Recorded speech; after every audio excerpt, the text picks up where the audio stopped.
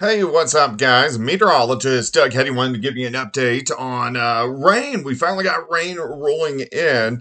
Um, I'm actually working from home today. Um, I'm sick. I got a sinus infection and um, yeah, so sinus infection, a little bit of a fever, but I'm doing okay. Sam's going to do the on-air shows for me. Uh, actually, look at this shirt.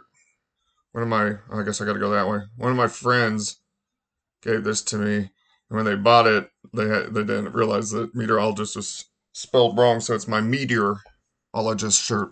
All right, guys, I hope you had a great weekend. Of course, uh, we have some clouds out there, even a few random little showers, which have been picking up over the past couple hours. Most of these are in northeastern Oklahoma, but you can see some light little kind of sprinkles, light little showers right on the south side of the metro, and then down once you get toward uh, Grand Lake. Now, where you see the yellows, that's a little bit heavier, some showers, maybe even a few embedded little thunderstorms as we go through the evening.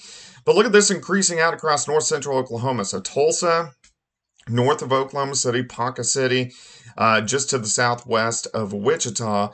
So all this is actually going to be heading toward us as we go through the overnight hours tonight. I really think through the evening hours, just kind of some hit and miss little showers, but we are going to get a bigger batch. See this batch developing out to the south of Amarillo, just to the east of Lubbock, uh, across the panhandles of Oklahoma and Texas. This is going to shoot northeast pretty much along the I 44 corridor and give most of us some pretty good chances for some showers and thunderstorms, especially after midnight for us tonight. And that is definitely something we need. Then, if we go to the Pacific Northwest, here's our next storm system. This will affect us late tomorrow night into Wednesday morning with another cold front. Also, will give us some chances for some showers and thunderstorms, especially the northern counties as we go through the overnight hours on Tuesday night. All right, a little windy out there for us today. You can see those southerly winds kind of kicking in.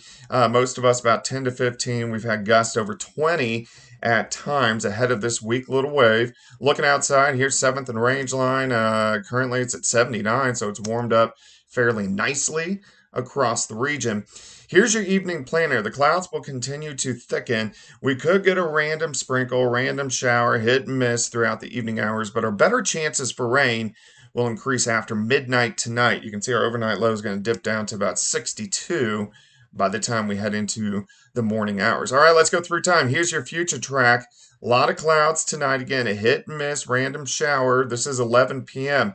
After 11 p.m., showers, even a few thunderstorms will start to increase. So here's 2:30 in the morning. The heaviest of the rain is going to be along and south of the I-44 corridor. Let's continue into the morning hours. Here's about 6 a.m. Most of us getting rain, showers, even a few scattered thunderstorms.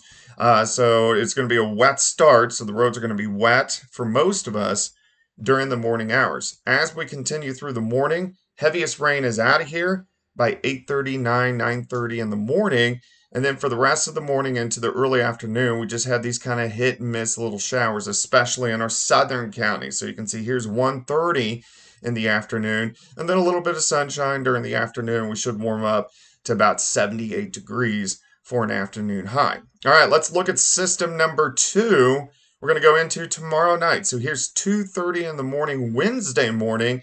Heaviest rain now is going to be to our north, but we'll get a front that drags in Wednesday morning, and this will at least give us chances to get some more scattered showers and a few thunderstorms. I really think this is going to stay in our northern counties. So, kind of tonight, the heavier rain will be in the southern counties. And then tomorrow, the heavier rain will be in our northern counties into central parts of Missouri. And then this front's going to roll through. So, we'll have morning showers on Wednesday.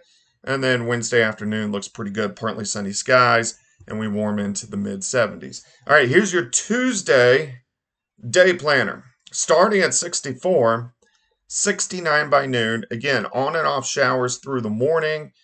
I think mostly cloudy skies by the afternoon, and then our high temp 78 to 79 degrees. Rainfall amounts, uh, not super heavy, but I do think tonight a lot of areas could pick up two tenths of an inch, quarter of an inch, maybe some isolated half inch amounts, which that is something we definitely need. We are in a hardcore, hardcore drought. But again, um, if you ever listen to my videos, we're in the new pattern now. So we're starting to see some changes, which is good. It's not going to be a great pattern, but uh, it, at least we're going to get better rain chances. All right, so tomorrow, 78, scattered thunderstorms, mainly in the morning. Wednesday, 74, scattered showers and thunderstorms, mainly northern counties, mainly in the morning. Thursday looks good. Friday looks good thunderstorms with our next system late Saturday, Saturday night, and then we cool back down on Sunday with some morning showers. Uh, another weak little wave on Tuesday that could give some showers, a little bit cooler for us next week. But at least, finally, guys, we are seeing some rain chances in the forecast, something we just have not really seen much of. All right, um, like I said, Sam's going to be on tonight. I'm going to be doing kind of the behind the scenes social media stuff just because I'm running a low fever. But if you guys have any comments or questions, leave them in the comment section below the video, and we will chat soon.